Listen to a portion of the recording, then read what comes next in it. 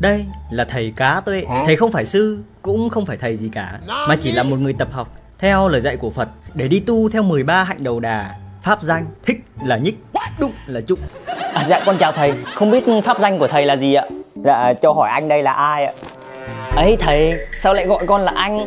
Phải là uh, thầy xưng con chứ? À dạ không, con con um, chỉ là một người tập học thôi, chứ không phải sư hay sủng gì đâu. Ờ được rồi, thế nếu thầy ngại thì uh, mình cứ xưng cậu với tớ đi cho nó công bằng nhỉ? Ờ, ờ như thế cũng được, nhưng mà cậu đây là ai mà sao tôi thấy uh, cậu giống ác quỷ quá? Ấy, cậu cứ đùa, thật ra tớ là youtuber đấy. Hả? Cậu nói lớn lên xem nào, tớ không nghe. Tớ là youtuber. À, thì ra là youtuber. Nhưng mà youtuber là cái gì cơ? Ta không biết. Ok, thế thầy có biết cái ứng dụng uh, youtube không? Biết. Rồi thầy có biết uh, top top không? Biết luôn. Thì đấy, cái youtube nó không giống top top. Ai à? Đùa với cậu tí thôi. Thật ra tớ làm nghề đăng video lên youtube và là một youtuber vô cùng nổi tiếng Cụ thể là kênh youtube của tớ đã có hơn 10 subscriber Video nào video đấy cũng hơn 5 view Bất ngờ lắm phải không? À thì ra là vậy Ta hiểu rồi. Ơ nhưng mà sao mình cứ thấy cái thằng này nó ngáo ngáo kiểu gì ấy ta? Thôi thầy cho con quay cái video Xong nó đăng lên youtube. Biết đâu lại được nổi tiếng Mà ít người biết đến thì sao? À, Thôi vậy cũng được ạ. Thì thí chủ muốn sao thì thí chủ cứ làm như vậy đi. Con cũng có quyền cấm cản gì đâu. Ok vậy thầy cười tươi lên nhá. Một hai ba này. Một tháng sau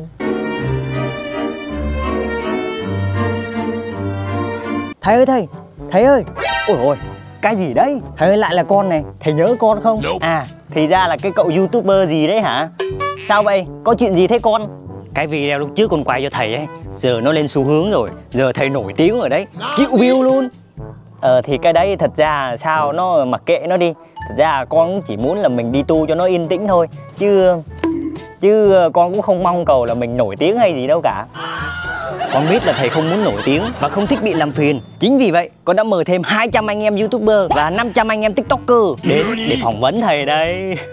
Mới mới mới mới Hả? Thế này là như thế nào? Ôi ôi, bọn này không biết nó đói cái gì mà nó đuổi theo mình dai thế nhở? Y như là má đói vậy á. Chạy từ hôm qua đến giờ rồi Vẫn còn bám theo ạ. Dạ, bọn con đói còn ten thì ạ. Hả? Ôi, ôi, ôi, ở đây có vẻ là yên tĩnh này. Ngồi ở đây làm miếng cơm, uống miếng nước rồi chạy tiếp vậy. Thưa các bạn, hiện tại là thầy cá tuệ đang uống nước các bạn ạ. À. Thật không ngờ là một người tu khổ hạnh như thầy Lại cũng biết uống nước. Tin được không?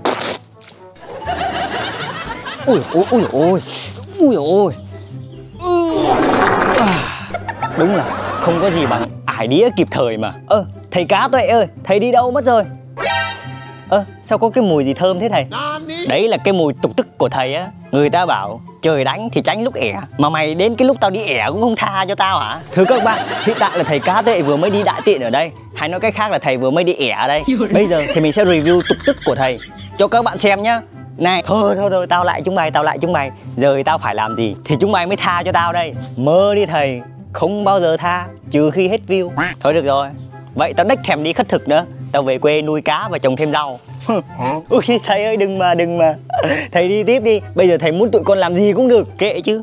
Miễn sao chúng bay đau khổ